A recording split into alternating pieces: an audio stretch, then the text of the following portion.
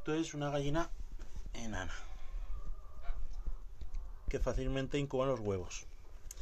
Y está aquí sentada para incubar. Pero ¿qué pasa?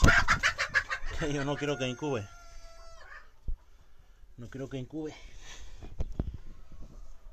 Y mira lo que tenemos. Y ahora yo vengo con esto.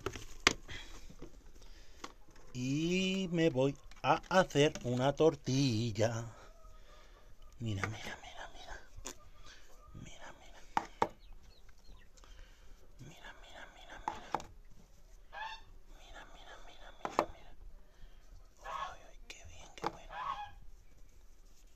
Muy, muy bien. Este huevín pequeñín de ella no es. Porque si está incubando no pone huevos. Pero es de otra que hay. Pequeñaja también.